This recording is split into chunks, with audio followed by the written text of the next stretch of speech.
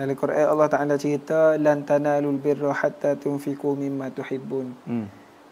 Uh, maksudnya kan tu kita tak akan siapa kata hak tu. Lan tanalul birra hatta tunfiqu mimma tuhibbun. Kamu tidak akan mendapat makom kebaikan yang benar-benar baik. Orang yang benar-benar baik adalah orang yang mensedekahkan barang yang ia saya. Kalau orang mensedekahkan barang yang dia tak sih, mungkin orang kata baik tapi tak sapa peringkat kebaikan yang benar.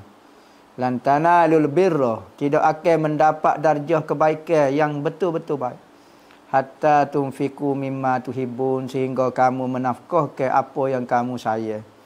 Kerana apa? Kerana orang mukmin lebih menyayangi Allah berbanding harta dia. Maka kalau benda ini di antara menjadi milik kita ataupun milik Allah, maka orang mukmin akan serah kepada Allah. Kerana apa? Kerana dia merasai Allah itu lebih daripada segala-gala. Allah tak perlu kepada harta kita. Tapi kita serahlah harta kita kepada Allah dengan macam-macam cara. Bersedekah ke, berwakah ke, apa dia. Eh. Dan Nabi Muhammad tidak pernah memaksa seseorang itu bersedekah di luar daripada kemampuan dia. Ulama menyatakan dalam kitab fiqh makruh kita bersedekah dengan harta sehingga kita menjadi susah pula. Kita sedekah sehingga kita terpaksa berhutang ke apa dia. Makruh buat kerja lagu tu. Tapi bersedekah ni jadi haram kalau kita bersedekah sehingga tak boleh beri nafkah wajib. Sehingga tak boleh beri benda wajib. Nafkah wajib kau apa dia bayar hutang wajib kau. Kita sedekah maka jadi haram pula. Ha. Kalau kita sedekah sehingga kita tak boleh makan, mendorakkan diri kita, terpaksa berhutang, tu jadi makruh.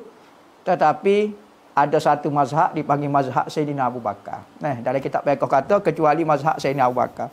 Sayyidina Abu Bakar ni dia sedekah semua harta dia kepada Nabi apabila Nabi tanya, Allah dengan Rasul saya tinggal.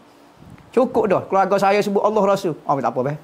Cukup saya tinggal dah rumah saya sebut Allah Rasul, maka maka isteri dia tak ada masalah, anak-anak dia tak ada masalah.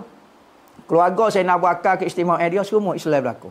Anak tenor dia, anak jatah dia, ayah dia, semua tu keistimewaan. Berbeza dengan sahabat-sahabat lain. Maka apabila bersedekah semua sanggup belaka. Okey, apabila sanggup tak jadi makruh. Ulama kata hak makruh hak haram kalau ada-ada keluarga ataupun isteri, oh sedekah siapa nafkah tak beri saya mengamuk ah tak boleh. Tapi kalau tak beri nafkah pun Allah habis sedekah kerana Allah deh. Oh tak apalah habis sedekah belaka lah Biar kita makan pasir lah. Oh tak apa suka belaka. Okey beres tak ada masalah apa. Ah tu bak infaknya. Lantana lul birra hatta tunfiku mimma tuhibbu.